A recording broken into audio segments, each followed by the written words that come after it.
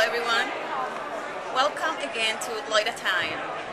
This time I am at the uh, celebration, kickoff celebration of the New York City Immigrant Heritage Week and I'm going to speak to a few very important and interesting people here. This is a wonderful week. We are celebrating multicultural populations, multi-ethnic people in New York.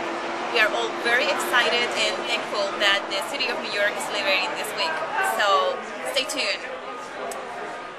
Hello, Eric.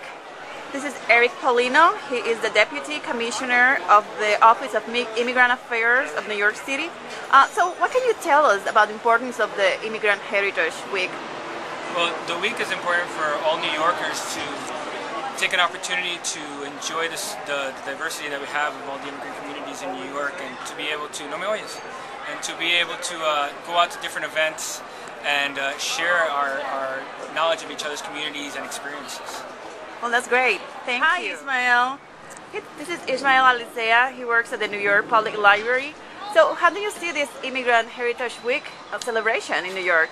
This is wonderful. This is a festive uh, week for all of us here to celebrate the wonderful cultures that we have in this city, uh, the music, the dance, the author programs that we have in our libraries. This is what this is all about. So. Thank you. Hi, Aida. How are you? Hi, thank you. Good morning. This is Aida, former um, editor of Criticas magazine, a sister publication of Library Journal.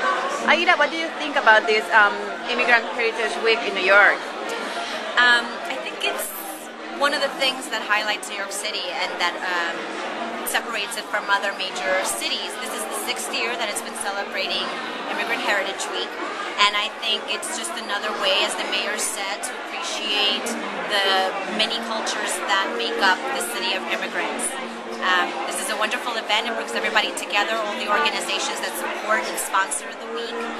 And I think for immigrants, it's just a reminder of why they are here. They gives them an opportunity to be proud, to highlight their culture and their traditions through different events and um, I think it's just a wonderful thing to celebrate immigrants. We're all we're all children of immigrants.